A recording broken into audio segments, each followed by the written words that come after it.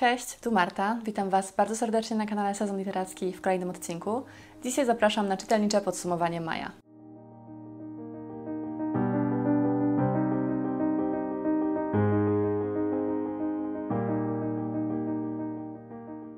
W maju udało mi się przeczytać 7 książek, co jak na mnie w ostatnich miesiącach jest dosyć dobrym wynikiem. 7 to ostatnio jest taka moja górna granica tych przeczytanych książek na miesiąc, tak więc jestem bardzo zadowolona z tego wyniku, chociaż kilka z tych książek, a właściwie dosyć spora część z nich, to były takie naprawdę krótkie książki, więc pewnie stąd też ta liczba, ale o tym zaraz będziecie mogli przekonać. Mamy tutaj naprawdę spory miszmasz gatunkowy, ponieważ mamy coś z literatury faktu, mamy coś z literatury młodzieżowej, mamy literaturę piękną, także tak naprawdę przekrój przez e, wiele, wiele gatunków, w związku z czym mam nadzieję, że każdy z Was będzie mógł mógł tutaj znaleźć coś dla siebie. Pierwsza książka, którą udało mi się przeczytać w maju, zresztą zaraz jakoś na początku maja, bo w pierwszych dniach, to właśnie jedna z tych krótkich książek, a jest to Sempre Susan, wspomnienie o Susan Zontag, napisane przez Sigrid Nunes. Ja już o tej książce dosyć sporo pisałam, bo w ogóle e, w tym miesiącu, w maju, byłam dosyć aktywna, jeżeli chodzi o recenzowanie przeczytanych książek na Goodreads, czy na moim Instagramie nawet. Tak więc o wielu z tych książek, jeżeli śledzicie mnie w innych miejscach, mogliście już usłyszeć czy przeczytać. E, I właśnie między innymi o tej książce. Bardzo mi się ta książka podobała. Oceniłam ją na 4 gwiazdki na 5. E, ponieważ ja też jestem fanką Sigrid Nunes, to znaczy bardzo lubię to, w jaki sposób ona pisze, zachwycił mnie jej przyjaciel. E, Pełnią miłości również bardzo mi się podobała, tak więc z wielką chęcią sięgnęłam po to wspomnienie o Susan Zontag, nawet nie ze względu na samą Zontag, a właśnie bardziej na Sigrid Nunes, ponieważ ja tak naprawdę o Zontag nie wiedziałam wiele i do tej pory nie wiem. Poza tym, że pisała eseje, że była aktywistką i taką no, dosyć wybitną postacią swoich czasów. Ona mi się w ogóle bardzo kojarzy z taką nowojorską bohemą, ale jeżeli chodzi o tę książkę, to znajdziemy tutaj właśnie to, co głosi podtytuł, to znaczy właśnie to wspomnienie o Susan Zontag. Oczywiście nie jest to biografia, to nawet nie udaje biografii, nie próbuje być biografią, ponieważ, no zobaczcie, ta książka ma raptem 100 kilka stron, 140 stron, tak więc no jest to zdecydowanie za mało, żeby opisać taką postać, jaką była Susan Zontag. E, Sigrid Nunes to jest um, pisarka, ale również przez jakiś czas e, partnerka syna Susan Zontag, stąd też ona znała tę pisarkę prywatnie. Nawet przez jakiś czas z nią mieszkała, najpierw jako jej asystentka, a później właśnie związała się z jej synem i był to taki swoisty trójkąt, który siłą rzeczy po prostu nie wypalił i ten związek nie przetrwał, ale sama Zontag, jak mówi tutaj Sigrid Nunes, wywarła na nią duży wpływ, to znaczy e, Sigrid Nunes tutaj gdzieś mówi takie zdanie, że ona nie byłaby tą osobą, którą jest dzisiaj, gdyby właśnie nie ten czas spędzony po prostu z Susan Zontag. I właśnie tutaj jest takie dosyć intymne wspomnienie o tym, jak żyło się z tą pisarką, jaką ona była osobą właśnie pod kątem prywatnym, a nie takim pisarskim. Nunes tutaj często przytacza takie momenty, które pokazują, że Susan Zontag była dosyć trudną postacią i miała dosyć taki trudny charakter, ale mimo wszystko pisze o niej z pewnym podziwem, także no, wydaje mi się, że jest to coś bardzo ciekawego i w połączeniu z taką pełnowymiarową biografią, która zresztą chyba w tym roku ma się ukazać bodajże nakładem wydawnictwa Agora, ale nie jestem tego pewna, to właśnie takie wspomnienie myślę, że będzie idealnym dopełnieniem historii Susan Zontag, bo no tak jak mówię, ona się tutaj nie skupia na takiej karierze pisarskiej, chociaż to oczywiście też, ponieważ to jest bardzo ważna część życia obu pań, natomiast właśnie pokazuje Zontag z takiej trochę prywatnej strony, trochę ją tak uczłowiecza w naszych oczach. E, I tutaj też bardzo ciekawe jest to, że Zontag nie lubiła być nazywana eseistką, mimo że my ją znamy głównie właśnie z esejów. To eseje są takie najbardziej popularne, to ona całe życie aspirowała do tego, żeby być pisarką powieści i to był dla niej taki wyznacznik sukcesu. Myślę, że jeżeli jesteście fanami Zontag, to jest to pozycja obowiązkowa.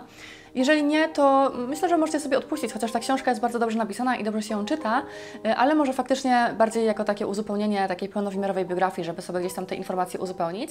Chociaż z drugiej strony, tak jak wspomniałam, ja sięgając po tę książkę o Zontag nie wiedziałam wiele, a po tej książce jestem zainteresowana tą postacią i tym chętniej sięgnę teraz właśnie po tę biografię. Także w sumie może i w dwóch przypadkach można po tę książkę sięgać. Mnie się naprawdę bardzo podobało, przyznałam tej książce, tak jak wspomniałam, 4 gwiazdki na 5 y, i ją polecam, bo uważam, że jest bardzo ciekawa i bardzo ciekawie napisana. Kolejna książka to coś, na co bardzo się cieszyłam w tym miesiącu, a niestety okazało się to ogromnym rozczarowaniem i myślę, że będzie to jedno z największych rozczarowań tego roku ze względu na to, jak wysokie oczekiwania miałam wobec tej książki a jest to książka Sen o Okapi, czyli coś, co ja widziałam po prostu wszędzie i wszędzie widziałam same zachwyty. Trochę rozumiem czemu, to znaczy wydaje mi się, że wiem skąd one się biorą, bo to rzeczywiście jest taka baśń dla dorosłych, jak padają takie hasła właśnie dookoła tej książki, ja się z tym zgadzam.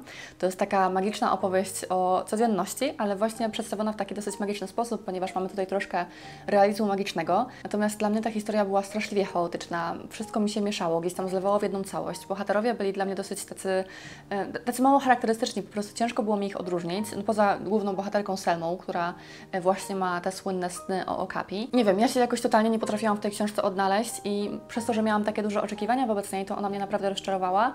Po prostu nie jest to książka dla mnie, a szkoda, bo z opisu i z opinii innych wydawało mi się, że to będzie coś, co mnie zachwyci. Nie do końca. Ten język też tak mnie nie za bardzo przekonał, ponieważ on jest pełny takich truizmów, właśnie taki, no jest to forma takiej baśni, przypowieści, więc możecie się domyślić, że tam są takie dosyć proste prawdy przekazywane i rzeczywiście tak tutaj jest. Nie przekonało mnie to i niestety nie jestem fanką tej książki, także przykro mi, bardzo chciałam, żeby sen o Okapi mi się spodobał, ale mi się nie spodobał. O kolejnych dwóch książkach wspomnę tak dosyć szybko, ponieważ nagrywałam o nich osobnego reading vloga, także możecie usłyszeć o nich e, w reading vlogu. Tutaj gdzieś nad moją głową pokaże się odnośnik.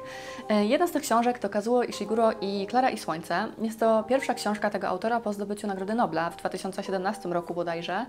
E, tutaj gdzieś to na pewno jest napisane, tutaj na samej okładce mamy, że jest to laureat Nagrody Nobla, ale wydaje mi się, że właśnie to było w 2017 roku.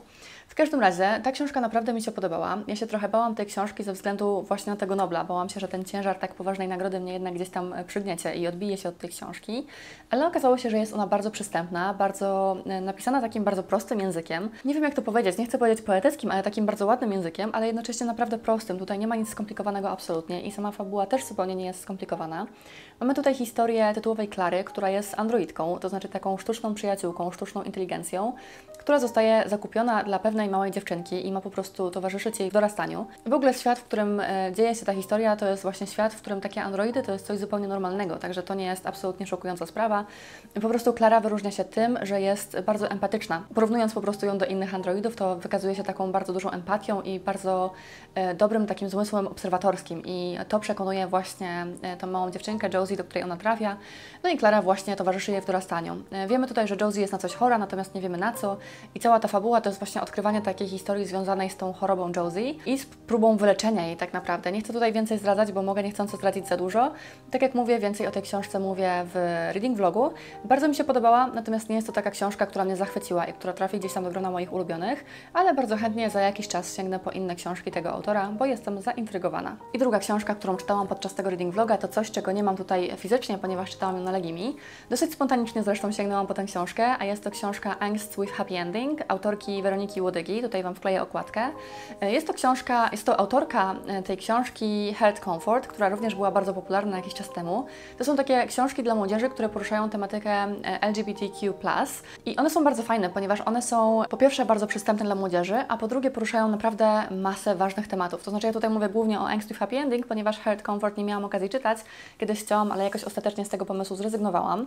E, początkowo wydawało mi się, że nie jest to do końca książka dla mnie, że jest to no, zdecydowanie książka młodzieżowa, z których ja już wyrosłam i po prostu nie mogłam się w tej książce odnaleźć, ale gdzieś tak mniej więcej od połowy się bardzo wciągnęłam i naprawdę uważam, że jest to szalenie ważna książka właśnie dla młodzieży, która porusza tak dużo różnych problemów, że naprawdę myślę, że wiele nastolatków będzie mogło się z tą książką utożsamić i zobaczyć, że gdzieś tam, jeżeli potrzebują pomocy, to że warto o nią prosić.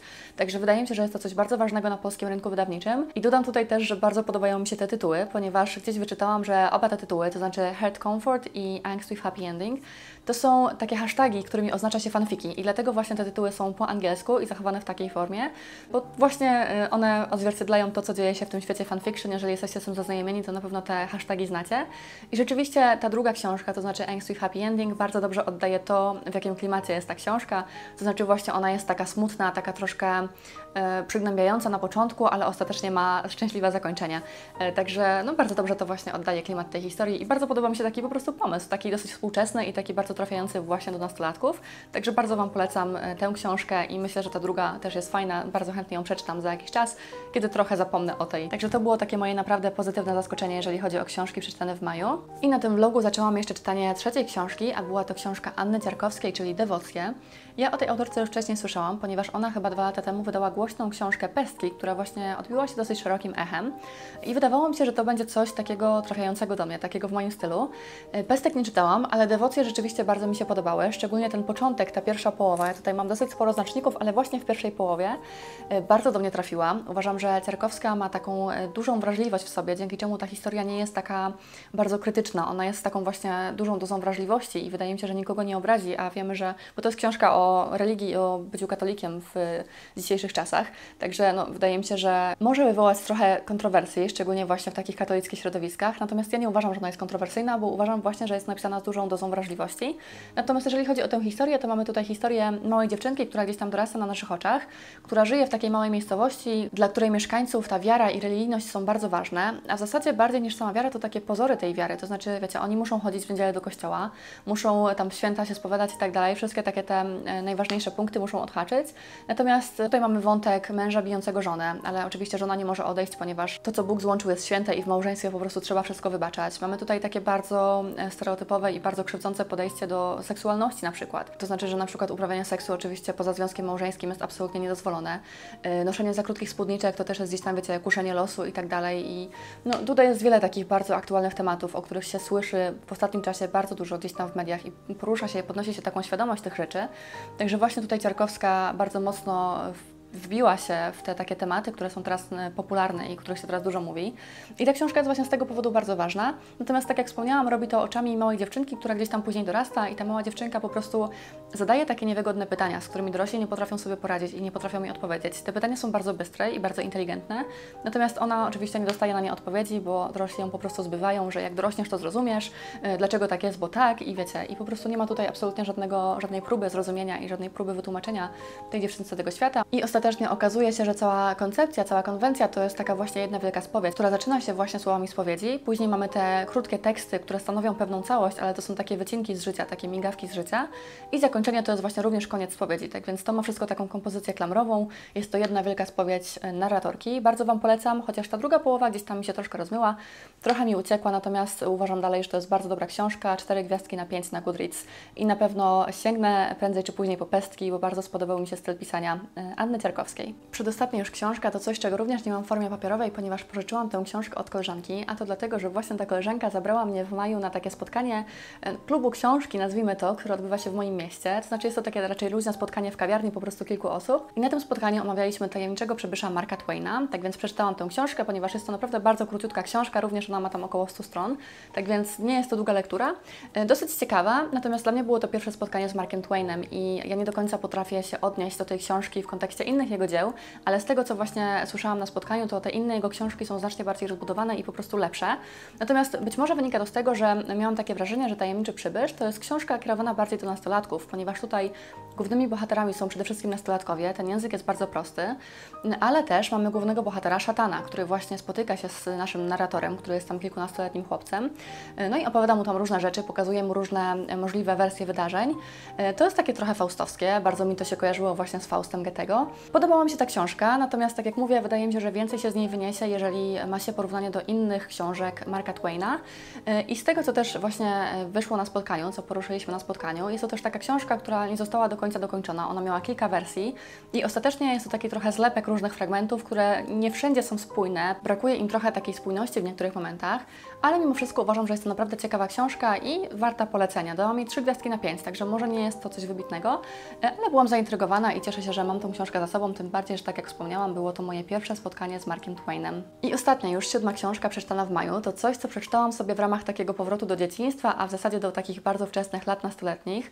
Mówiłam Wam o tej książce w moim poprzednim filmie, czyli w książkach mojego dzieciństwa, bo właśnie to jedna z tych książek, która jako taka no, wczesna nastolatka, nie wiem, 11-12-latka się zaczytywałam i czytałam je wielokrotnie wypożyczając z biblioteki. Natomiast teraz y, ostatnio na Vinted sobie te książki kupiłam za jakieś tam drobne pieniądze.